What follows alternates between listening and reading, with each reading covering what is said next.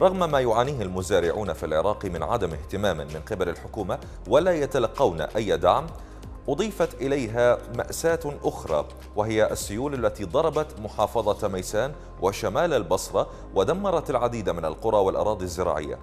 أحد الفلاحين المتضررين من السيول التي أتلفت زرعه ناشد أن يتم تعويضهم بعد خسارتهم لكل ما يملكونه وبعدما كانوا ينتظرون زرعهم. لكي يتم حصاده وإيفاء ما تم استدانته أو استدانته من أسمدة وبذور. فنشاهد. مع الفلاح آه، قاطع. قاطع ويد العيساوي حلو. آه، العايش. شنو معاناتك أخي؟ والله يا أخوي إحنا عيشتنا بالزرع هذا.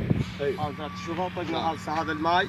نعم. أخوي إي. وإحنا بيناتنا العباس من 2001 هاجرنا من العمارة منه صحيح. وحطينا هنا وقاع سيد ربيع وبنهر العز منه. نعم. وعيشتنا بس الزرع ما عندنا غير الزرع. لا حلال ولا نشتغل بسيارة ولا. أبو ولا بسوق منا منا. زين. أي شغلة ما عندنا بس الزرع. ونريد مساعدة الدولة. تلتفت على الناس. هاي أس- هاي أنت هاي مثلا أنت إيش رايد من الدولة؟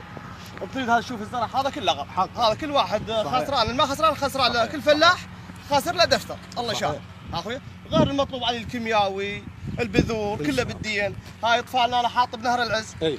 أخوي إي.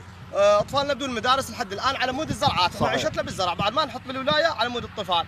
وظالين عوايلنا بالضيم لا كهرباء ولا شيء نهر العز ها أخوي وعلى مود الزرعات. والزرع هل تشوفون هذا الماء طق البارحة وانتهينا. وسدينا لو ما إحنا ملينا جاي نشوفه حاليا. إي. سدينا لو ما ملينا بالآليات مالتنا لا مساعدة من الدولة ولا هاي ولا واحد نشد علينا نعم. لحد الآن. شوف الزرع. هذا